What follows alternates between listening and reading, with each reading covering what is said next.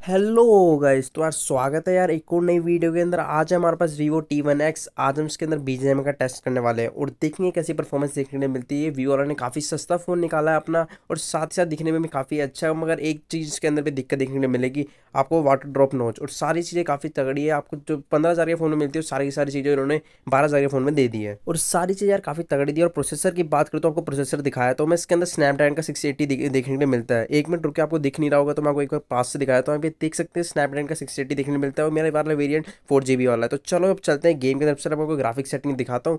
ये रिव्यू ज़्यादा बड़ा नहीं होने वाला, छोटा से होने वाला, क्योंकि मेरे से नहीं खेला जाता भाई बिना गायरों के।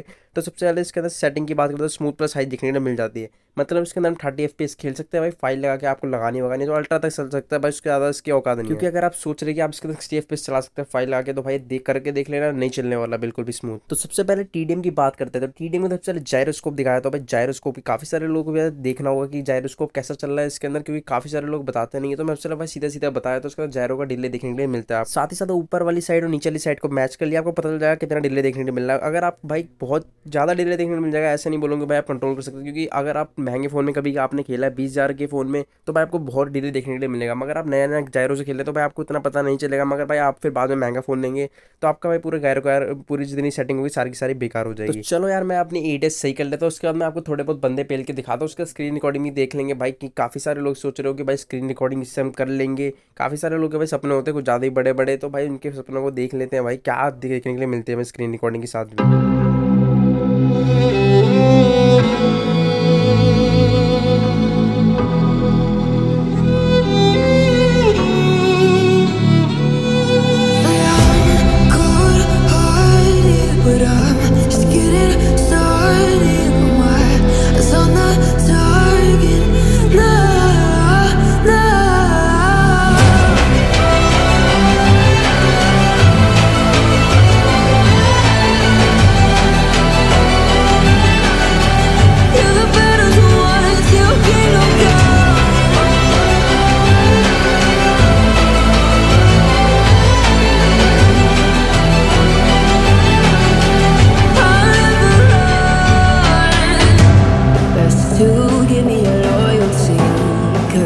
चलो अब स्क्रीन रिकॉर्डिंग चालू कर लेते हैं और देखते हैं कैसी परफॉर्मेंस देखने के लिए मिलती है।